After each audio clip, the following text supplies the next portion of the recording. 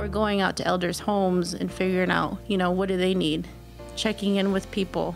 And communication is the biggest key in all of this. And I just pray that each and every one of you are doing that, that we're taking care of each other through this process because that's what it takes is a community, a community of caring for each other.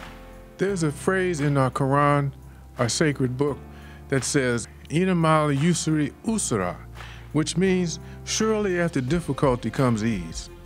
So we want everyone to understand that this too will pass. While the call from public health is to maintain physical distance right now. As a religious community, we will strive to counteract the loneliness that could come from such an order by maintaining emotional closeness and spiritual closeness. Together, we are saying, do not be afraid, but we're also saying that these are scary times. So if you are afraid, reach out, even if by phone, to assure someone that they are not alone.